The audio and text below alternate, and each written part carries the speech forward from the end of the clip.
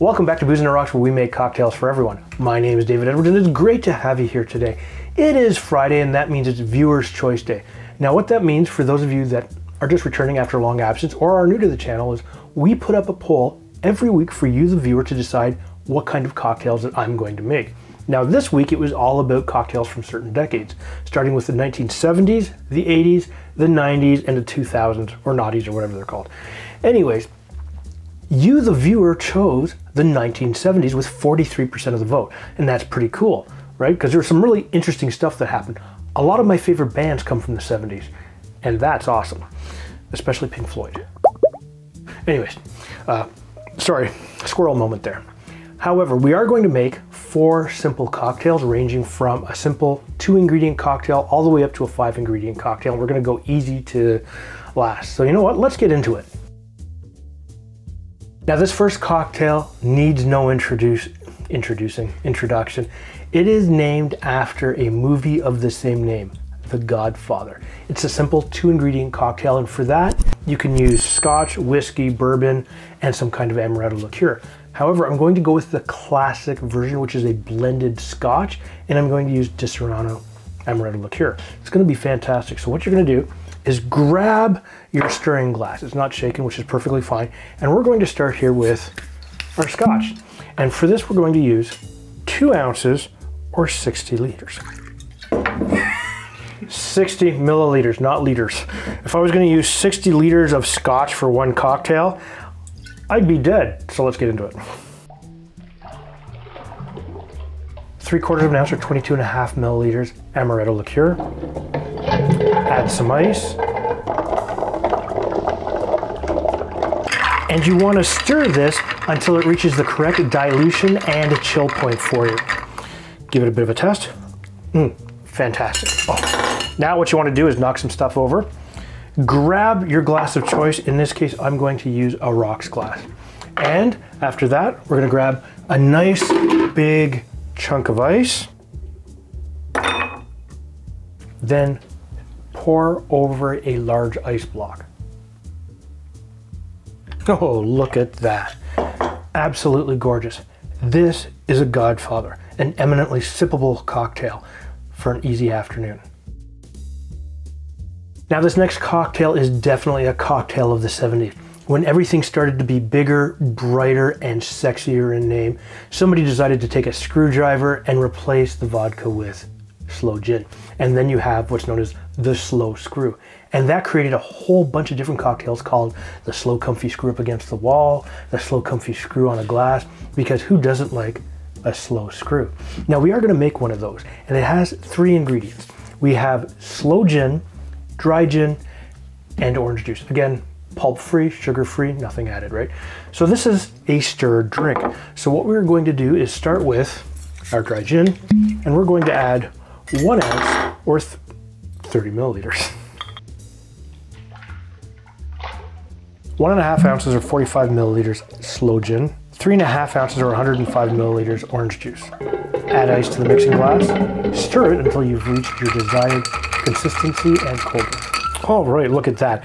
Not the most attractive looking glass in there yet, but oh, fantastic. Nice, simple, easy. So put this off to the side here, grab yourself your glass of choice. In this case, I'm using a nice highball glass. So what we're going to do is just grab a little bit of ice and we're gonna fill it up like, like, you know, I really hate this set of tongs. Anyways, as I was saying, with some ice.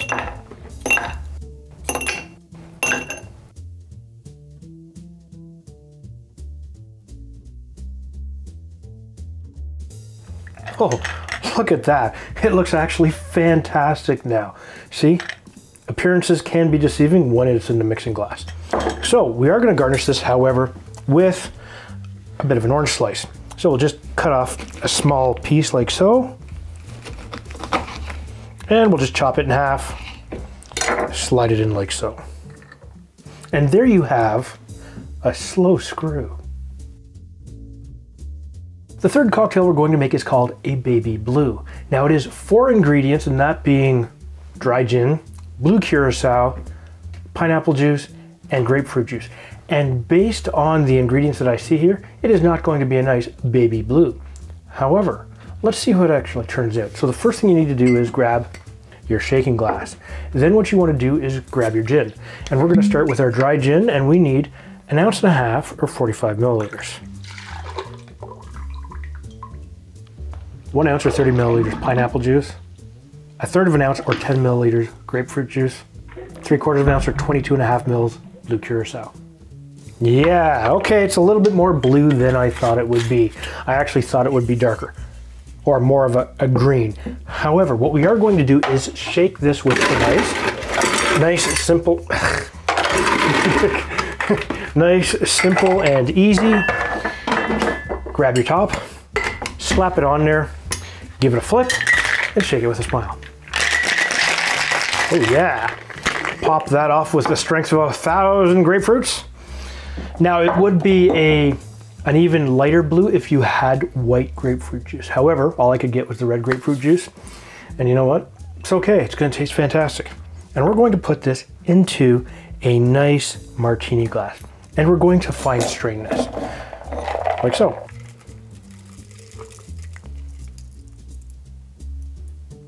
Oh yeah, look at that. It looks so much better than I thought. Oh, so what we're going to do is we're just going to uh, get a bit of an orange peel on top, like so. Pop that off. Because we have it, give it a bit of a uh, squeeze and just put that like so. And this is, what the fuck is this called? A baby blue. Now our last cocktail of the night is called a golden Cadillac. It's simple, it's easy, it's creamy, it's chocolatey, it's orangey. It is a perfect after dinner dessert cocktail and it contains five ingredients. Half and half, orange juice, orange bitters, clear creme de cacao or white creme de cacao as it's normally called, and Galliano vanilla. Now originally when this cocktail came out you would have used Galliano d'Autentico. Uh, anyways, the authentic Galliano because I can't pronounce it. Anyways, it is a shaken cocktail. So what we are gonna do is grab your shaken glass and we're gonna grab, grab our creme de cacao. I'm apparently having some issues here. And for this, we're gonna use one ounce or 30 milliliter. One ounce, 30 milliliters creme de cacao, two dashes of orange bitters. Half an ounce, 15 milliliters Galliano, half an ounce, 15 milliliters orange juice, one ounce, 30 milliliters, half and half cream. Oh yeah, look at that. Fantastic. So what we're going to do now is we're going to add some ice and we're going to shake this for a good 10 to 15 seconds. So fill that up like so. Whoops. Grab the lid, slap it on there like so, make sure it's tight, give it a flip, and shake it with a smile. Yeah. Pop that off with the strength of a thousand oranges. Move that over like so grab yourselves a nice little coupe glass. And what we're going to do is fine strain this.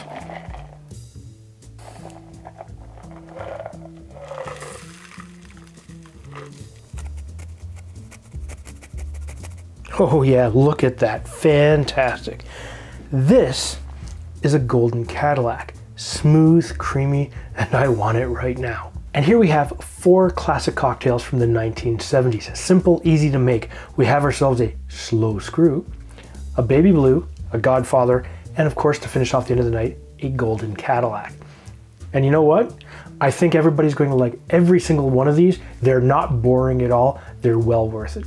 Now, if this is your first time to my channel, please hit the subscribe button and make sure you hit that bell notification. That way, every time we put up a new video, you will be notified. And if you'd like to help support the channel, please check us out at patreon.com forward slash booze on the rocks because every little bit helps us to bring these videos to you. You have a fantastic evening.